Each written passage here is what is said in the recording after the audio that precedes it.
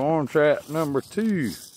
So there's swarm trap number one, that tree there at the end of the path. I don't know if you can see the box hanging on it. Let's see, to see it? There it is. So I have caught swarms in that trap and this trap the same day. There's the swamp, we're getting a little bit closer to it. Good distance. Uh, another tree we caught several swarms off of. So of course I am gonna put another trap on it this year. Um, one of these two traps will probably be the first tree traps we catch swarms in this year. So there's a little more information. Um, nice thing about using these same trees is you ain't got to put screws in the, in the tree, they're already there.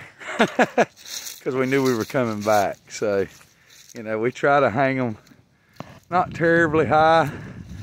Um, he can hang that standing on the ground. Luke's just under six foot.